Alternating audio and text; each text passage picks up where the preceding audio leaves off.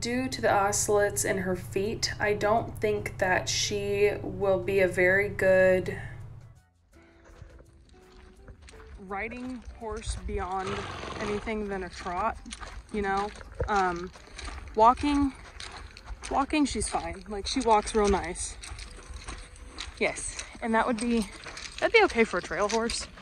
But otherwise, that's it, you know?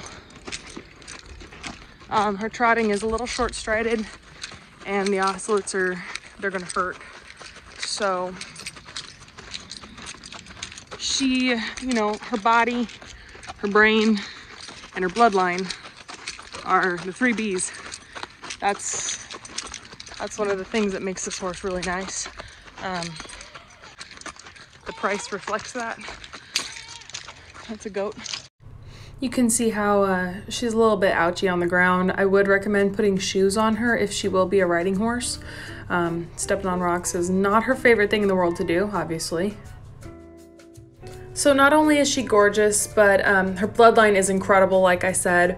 She's gonna throw some amazing babies. So there you have it. There's Foxy Fresh. Um, I'm in love with this little mare. I wish I could keep her. After a few rides, I think she's going to be a great little riding horse, great on the trails, but at a walk, like I said, um, she's obviously not going to be competing in anything. but there she is. Um, any questions anyone might have, I am going to post my email at the end of the video. Thank you for watching.